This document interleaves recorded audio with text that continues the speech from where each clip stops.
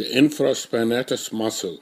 The infraspinatus is a thick triangular muscle located on the posterior aspect of the scapula.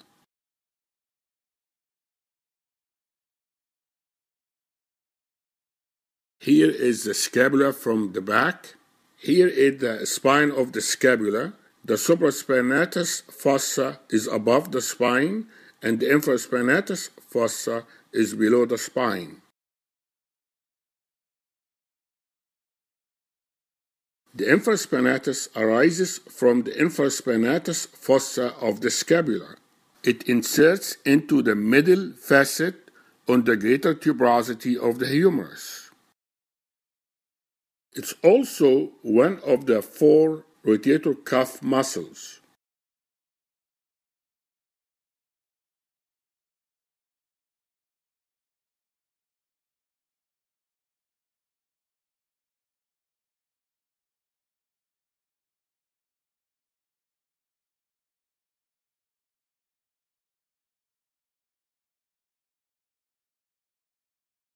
What is the action of the muscle? Action of the muscle is external rotation of the shoulder with the arm to the side. The muscle is trying to pull the arm towards the back. It means external rotation. The infraspinatus is really a major external rotator of the shoulder. It also contributes to the humeral head depression action of the cuff. You can test this muscle by having the arm adducted and the elbow is flexed at 90 degree and the patient will attempt external rotation. Infraspinatus innervation.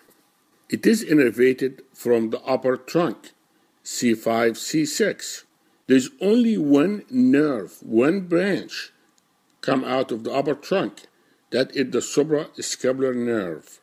Here is a detailed explanation of the course and the innervation of this nerve.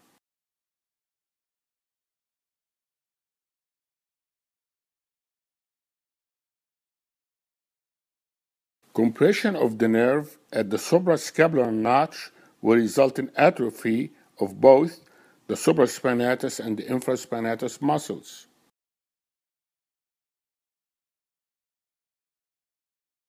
Compression of the nerve distal to spinoglenoid notch will lead to isolated weakness of the infraspinatus.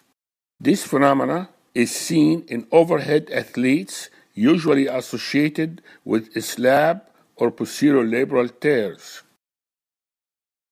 Entrapment of the nerve at the spinoglenoid notch usually occurs from a ganglia cyst. Here is some important facts involving the infraspinatus muscle. Shoulder dislocation and cuff tears. Cuff tears occur in 80% of patients above the age of 60 with a shoulder dislocation. Posterior approach of the scapula or posterior portal for shoulder arthroscopy. It utilizes the plane between the infraspinatus, supplied by the suprascapular nerve, and the teres minor, supplied by the axillary nerve. This plane is usually safe. Avoid going distal to the teres minor because the axillary nerve will be there. Because of that risk, some people like to do muscle splitting approach for the infraspinatus to avoid injury to the axillary nerve.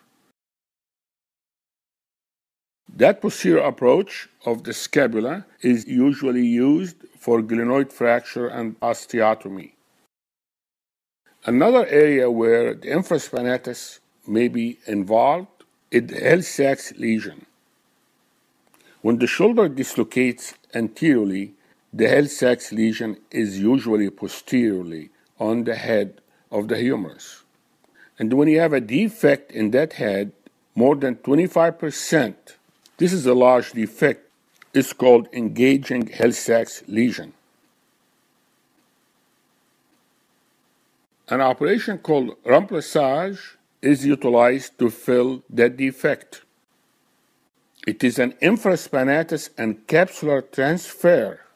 The Hill-Sachs lesion is filled with the posterior capsule and by the tenodesis of the infraspinatus tendon to reduce the risk of osseous engagement. Also check for Bankart lesion for possible concomitant repair of that lesion. Now, this is an important topic, which is atrophy of the infraspinatus muscle. If you find there's an atrophy of the infraspinatus fossa visible in a patient, then that patient may have entrapment of the nerve or it may have a chronic massive tear.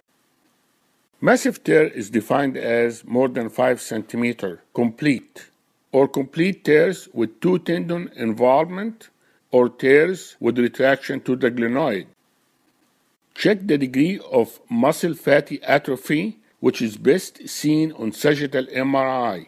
The muscle atrophy is irreversible and usually indicates a future poor outcome after rotator cuff tear repair. Here is a massive rotator cuff tear with some fatty atrophy. And we just said the result is very poor with rotator cuff repair. We got several options, but here are the best two options. If there is irreparable posterior rotator cuff tear, the latissimus dorsi is transferred to the greater tuberosity. You must have an intact subscapularis tendon, and this is usually done in young patients with massive irreparable cuff tear.